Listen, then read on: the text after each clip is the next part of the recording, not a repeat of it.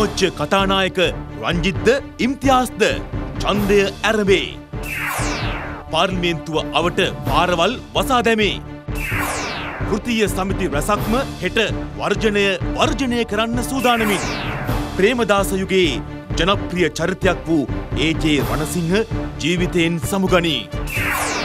Ukraine යුද්ධයෙන් ඉන්දියාවත් අමාරුවේ.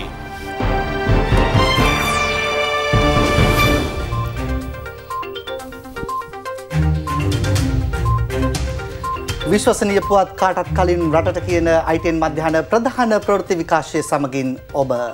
නියෝජ්‍ය කතානායකවරයෙකු තෝරාපත් කර ගැනීම සඳහා පාර්ලිමේන්තුවේ රහස් ඡන්දයක් පැවැත්වෙනවා. ශ්‍රී ලංකා නිදහස් පක්ෂයෙන් රංජිත් සියඹලාපිටිය මහතාගේ නම නියෝජ්‍ය කතානායක දුරේ සඳහා යෝජනා කෙරුණා. ඒ සඳහා ආණ්ඩු පක්ෂයේද සහාය ලබා දෙන බව අමාත්‍ය මහාචාර්ය ජී.එල්. පීරිස් මහතා අද පාර්ලිමේන්තුවේදී ප්‍රකාශ කළා. සමගී ජනබලවේගයෙන් නියෝජ්‍ය කතානායක දුරේ සඳහා ඉම්තියාස් බාකිර් මාක මහතාගේ නම යෝජනා කරන බවයි එහි මහලේකම් රංජිත් මද්දුම් බණ්ඩාර මහතා ප්‍රකාශ කළේ. ඒ අනුව නියෝජ්‍ය කතානායකවරයෙකු තෝරාපත් කර ගැනීම සඳහා රහස් ඡන්ද විමසීමක් මේ වන විට පාර්ලිමේන්තුවේදී පැවැත්වෙනවා. ගරු කතානායකතුමනි නියෝජ්‍ය කතානායක ධූරය සඳහා කෑගලු දිස්ත්‍රික් පාර්ලිමේන්තු මන්ත්‍රී රංජිත් සියපලා පිටිය පැතුමාගේ නම් මම යෝජනා කරනවා. ඒක ඉස්සර කරන්න කවුරු හරි? මම ස්ථීර කරනවා ගරු රංජිත් සිබලපිටිය මැත්තුමාගේ නම නියෝජ්‍ය කතානායක ධූරය සඳහා. ගරු ගරු කතානායකතුමනේ ඔව්. ගරු රංජිත් සේමලාපිටිය මන්ත්‍රීතුමාගේ අපේක්ෂකත්වයට ආණ්ඩු පක්ෂයේ පූර්ණ සහයෝගය තිබෙන බව ඉස්සතියි? ඔව්. ආණ්ඩු පක්ෂයේ සහයෝගය දෙන්න දෙනවා කිව්ව නිසා අපේ අපේක්ෂකයා විදිහට පාර්ලිමේන්තු මන්ත්‍රී ඉම්තියාස් බාකිර්මාකර මැතිතුමාගේ නම යෝජනා කරනවා. ඒ යෝජනාව ඉස්සර කරන්න ගරු කතානායකතුමනි ඉම්තියාස් බාකිර් වාකර් මැතිතුමාගේ නම මම ස්ථිර කරනවා. ඡන්දය සලකුණු කිරීමට සූදානම් කර තිබෙන කුටියේදී එකී ඡන්ද පත්‍රිකාවේ ඉහළින් තමන් රිසි අපේක්ෂක මන්ත්‍රීවරයාගේ නම නිවැරදිව ලිවිය යුතු අතර ඊට පහලින් ඔබගේ සුපුරුදු අත්සන යෙදිය යුතුය. දැන් ඔබතුමා කිව්වා මේ බැලට් පේපර් එකේ අස්සම් කරන්න ඕන කියලා. ඒතොර රාසභාවේ එළි වෙනවනේ. මොකද්ද මේ නීතිය? නෑ නෑ නෑ. ඒක ඒක ස්ථාවර නියෝගය. මගේ නියෝගයක් නෙමෙයි. ඔබතුමා මේ නැති ප්‍රශ්න හදන්න එපා. සභා ඔබතුමා සභා රීති දන්නවා. ඔබතුමාට බලය තියෙනවා ස්ටෑන්ඩිං ඕඩර් සස්පෙන්ඩ් කරලා ඒක වඩා ඒකට සභාව එකඟ වෙන්න ඕන. මීට පෙර දෙදස් පහළව දෙදස් දහනමේ අතර පාර්ලිමේන්තුවේත් මේ වගේම ඡන්දය ලබා ගැනීමක් කරා. ඒ වෙලා හිටපු විපක්ෂයේ සංවිධායකතුමා සභානායක හැටියට හිටියේ. එතකොට ආනන්ද කුමාරසිරි මන්ත්‍රීතුමාට සහ සුදර්ශනී ප්‍රනාන්දුමුල මන්ත්‍රීතුමියට නියෝජ්‍ය කතානායක තෝරා ගැනීමත් ওই විදිහටම තමයි කරේ. එතුමා අත්සන් කළා තමයි ඒ වෙලාවේ ඡන්ද ප්‍රකාශ කරේ. ස්ථාවර නියෝග දන්නෙත් නැහැ, කරපු ක්‍රමවේද දන්නෙත් නැහැ. කතානායකතුමනි ස්ථාවර නියෝගය වලින් අපි අද ඉල්ලන්නේ මේ සභාවේ විශ්වාසයක් ජනතාවගේ විශ්වාසය තබා ගැනීමට අදම අදම මේ පත්‍රිකාවල් විනාශ කරන්න කියලා ප්‍රසිද්ධයේම අපි ඉස්සරහා විනාශ කරන්න කියලා අපි ඉල්ලීමක් කරනවා. මේ කටයුත්ත කඩාකප්පල් කිරීම හිතාමතා කරන්න යන්නේ නැතුව මේ කටයුත්ත කරගෙන යන්න ඉඩ දෙන්න. නියෝජ්‍ය මහලේකම්තුමිය ඡන්ද පත්‍රයක් නිකුත් කරන්න කටයුතු කරන්න. Honorable Mahinda Rajapaksa. Mahinda Rajapaksa මැතිතුමා.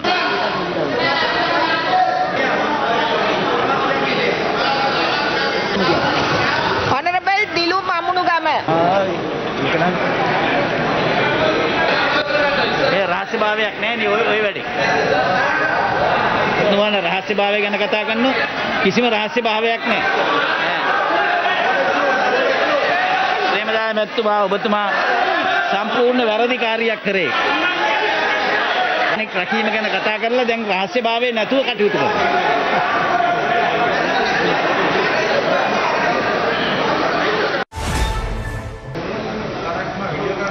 Honorable Sudat Manjula.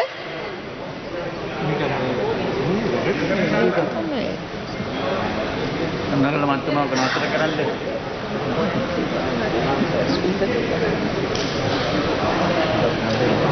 Honorable Sudat Manjula. Honorable S.M. Marika.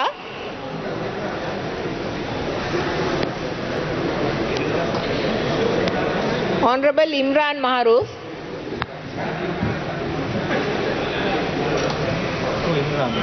Honorable Imran Maharoof. Absent. Imran Maroof absent Absent. Honorable Imran Maruf is absent. Honorable Imtiaz Bakir Marker.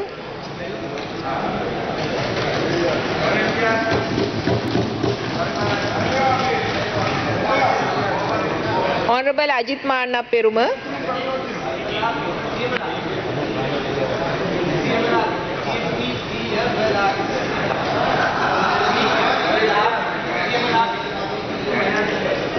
Honourable Mohammed Muzammil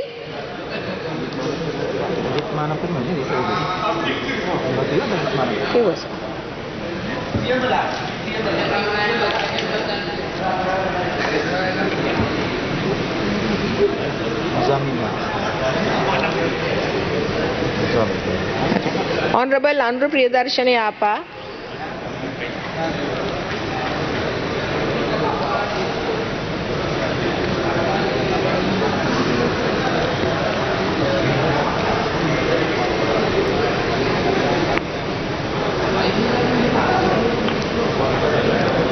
Honorable Vasanta Yapa Bandara.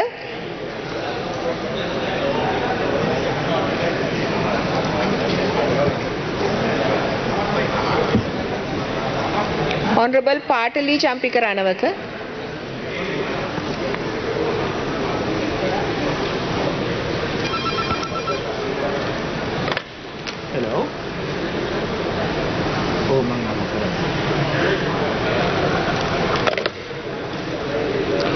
Honorable Nipuna Ranavaka.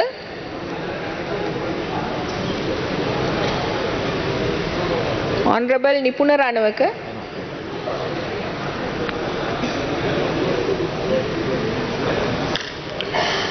Honorable Roshan Ranasinghe.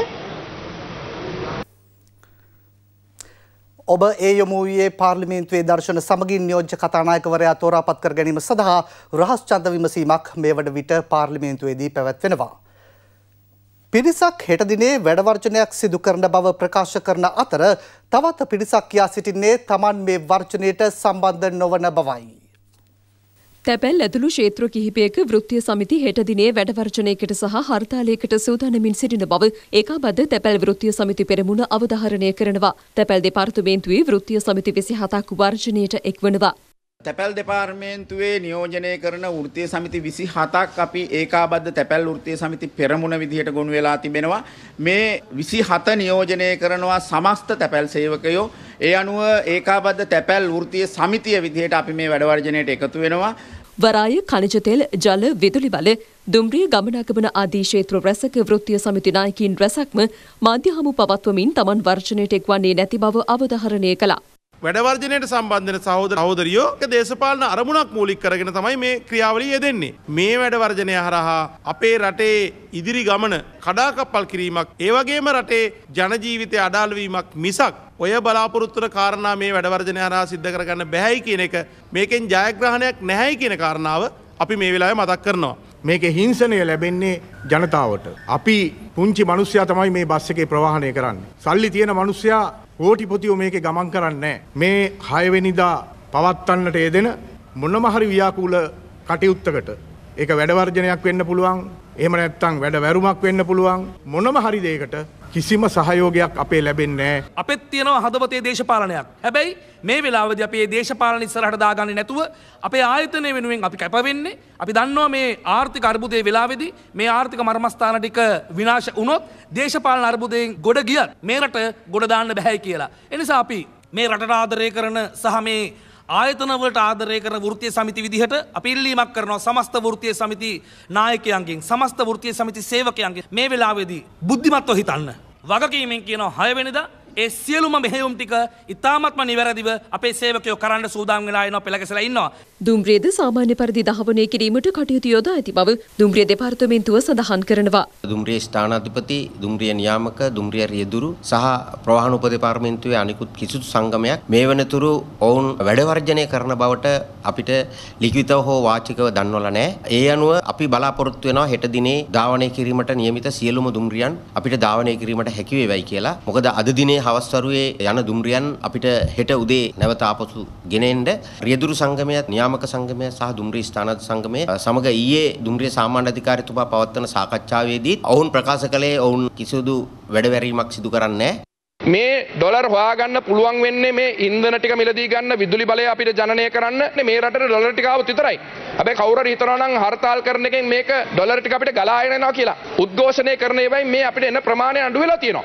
එනිසා මේ උද්ඝෝෂණය කරන පිරිස් හර්තාල් කරන පිරිස් දැනගත යුතුයි කවුරු මේක කරත් කවුරු මේකේ ආණ්ඩුව ගත්තත් අපිට ඒ විදේශ විනිමය රටට ආවොත් අපේ අපේ කර්මාන්ත පවත්වාගෙන යා ගියොත් විතරයි අපිට මේ කටයුත්ත අපිට අකණ්ඩුව පවත්වාගෙන යන්න පුළුවන් වෙන්නේ.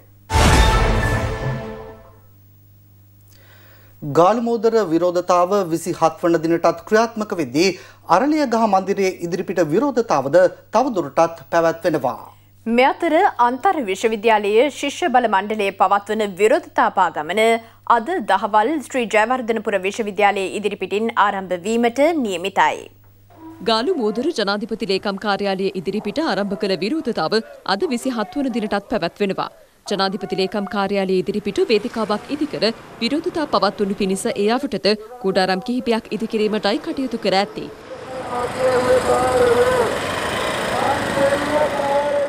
මේ අතර අරලීගහ මන්දිරයේ ඉදිරිපිට විරෝධතාවයේ නිරත පිරිස් ප්‍රධාන පිවිසුම අතර ඉදිකර තිබූ අට්ටාල ඊයේ ඉවත් කරනු ලැබුවා. ඔවුන් ගාලුපාරේ අනෙක් පසපදික වේදිකාවේ සිට තවදුරටත් විරෝධතා පවත්වනවා. එම විරෝධතා අද පැවැත්වෙන්නේ එකොළොස් වන දිනටයි.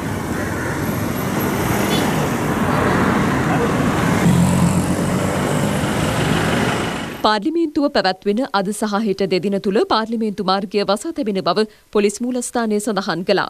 පොල්දුව මන්සන්දිය සිට ජයන්තිපුර මන්සන්දිය දක්වාත් ජයන්තිපුර මන්සන්දිය සිට කියංහැම් මන්සන්දිය දක්වාත් මාර්ගය මෙසේ වසා තැබෙනවා. එම කාලය තුළ පාර්ලිමේන්තු මාර්ගයට පිවිසෙන අතුරු මාර්ගද වසා තැබෙන අතර විකල්ප මාර්ග නොමැති එම සීමාවේ පදිංචිකරුවන්ට තම අනන්‍යතාව තහවුරු කර ගමන් කිරීමට හැකියාව පවතින බවයි පොලිසිය දැනුම් දෙන්නේ.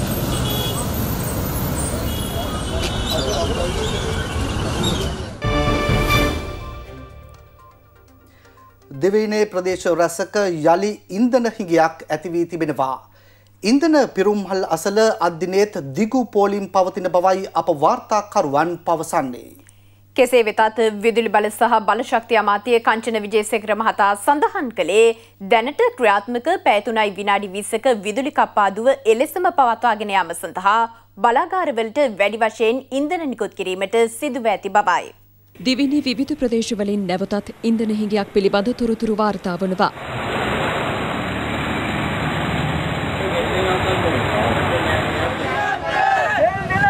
අපි යන්නේ! තෙල් දෙනකන්! තෙල් දෙනකන්! අපි යන්නේ! ඊයේ සවස හොරුණ නගරයේ ඉන්ධන පිරවුම් හලක ඉන්ධන තිබියදීත් ඉන්ධන නිකුත් නොකිරීම හේතුවෙන් ජනතාව විරෝධය පළ කළා. ඔවුන් පානදුර හොරණ ප්‍රධාන මාර්ගයේ හොරුණ නගරයේ නවහිර කිරීම නිසා දැඩි උණුසුම්කාරී තත්වයක්ද ඇති වුණා. කියනවා කියනවා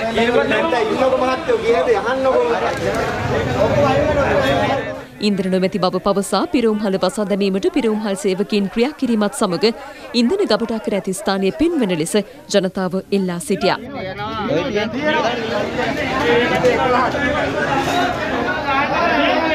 කෙසේ වෙතත් අද පාර්ලිමේන්තුවේදී විෂය බහර අමාත්‍යවරයා කියා සිටියේ පැය තුනයි විනාඩි 20ක විදුලි කප්පාදුව තවත් වැඩි නොකිරීම සඳහා ඉන්ධන වැඩි වශයෙන් බලාගාර සඳහා නිකුත් කිරීමට සිදුව ඇති බැවින් වෙළඳපොළට ඉන්ධන නිකුත් කිරීම සීමා කිරීමට සිදුව ඇති බවයි. එවැගේම කරු කතානායකතුමනි ඊයේ පෙරේද දවසේ නැවත වතාවක් පෝලිං තත්ත්වයක් ඇති වුණා. මේ වෙලාවේ අපිට ප්‍රමාණවත් තරම් පෙට්‍රල් තොග අපේ රටේ තියෙනවා. අපි බලාපොරොත්තු වෙනවා දින 3ක් විතර යනකොට අපිට පෙට්‍රල් තත්ත්වය සාමාන්‍ය තත්ත්වයට පත් කරගන්න පුළුවන් වෙයි කියලා. නමුත් ඩීසල් පිළිබඳව අපිට යම් ගැටලුවක් තියෙනවා කරු කතානායකතුමනි. ගැටලුවක් කියන්නේ ප්‍රමාණවත් තොග නැතිවීම නෙවෙයි.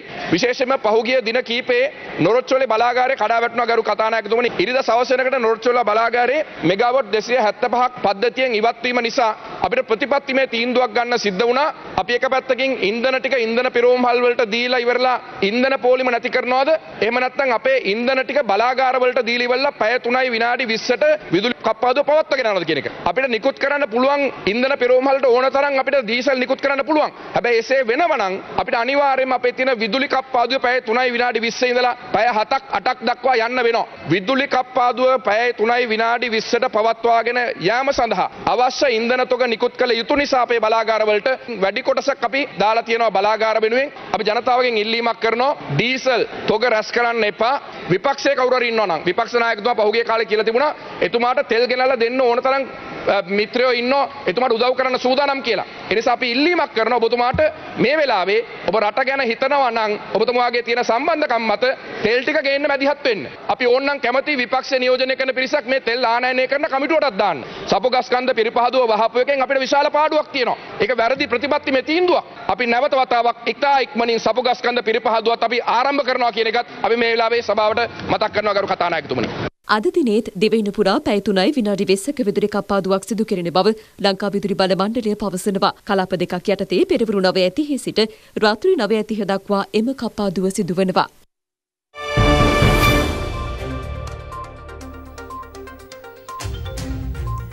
ආගමන විගමන දෙපාර්තමේන්තු කාර්යාලයේ දත්ත පද්ධතියේ බිඳ වැටීමක් හේතුවෙන් එහි සියලු කටයුතු අඩාල වුණා.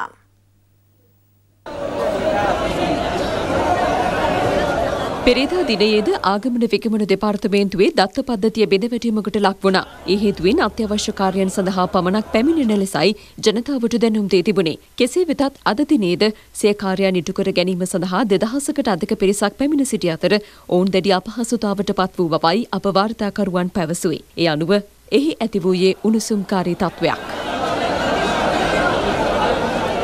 එක්කෝ සිස්ටම් වැඩ කරන්නේ නැහැ කිව්වොත් ප්‍රවෘත්ති වලින් දෙනුම් දෙන්න ඕන. එතකොට මේ මිනිස්සු රස්තාද වෙන්නේ නැහැ. ඔයාලා මාධ්‍ය මාධ්‍ය ආයතනනේ. ඔයාලා හරි දැම්මද ඔය මේකේ? මෙයාලා ඔයාලට දෙනුම් දුන්නාද? උදේ දාලා කිව්වේ. ඈ? උදේ? උදේ දුන්නාට මේ කට්ටිය ගිහිල්ලා ඉවරයි. දැන් මෙච්චර ඒවා සෑරෙක්. පැකිරා ගිහිල්ලා අපේ සල්ලි දීලා ආවේ මේ ඉඳලා ආවේ. ඒ පාවස්ථායක 25000 දීලා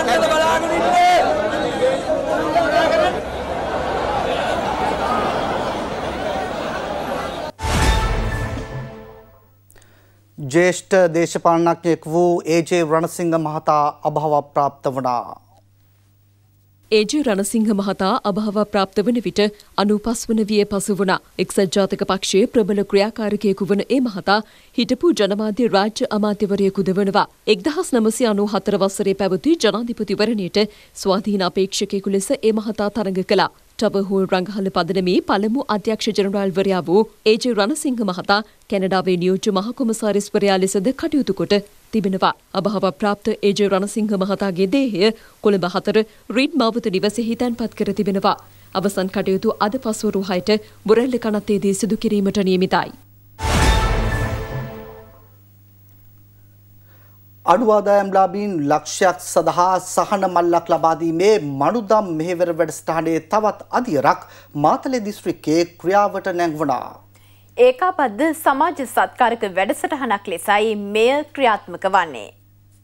අඩුවාදෑම් ලබේ පවුල් සඳහා වියලි ආහාර ද්‍රව්‍ය අඩංගු සහන මල්ලක් ලබා දීම මනුදම් මෙහෙවර වැඩසටහන යටතේ සිදු කෙරෙනවා. මාතලේ දිස්ත්‍රික්කයේ හපුවිට ප්‍රදේශයේ තෝරාගත් අඩු ආදායම් ලබේ පවුල් 50ක් සඳහා වියලි ආහාර මළු ලබා දීම මාතලේ සර්වෝදය මධ්‍යස්ථානයේදී සිදු කෙරුණා.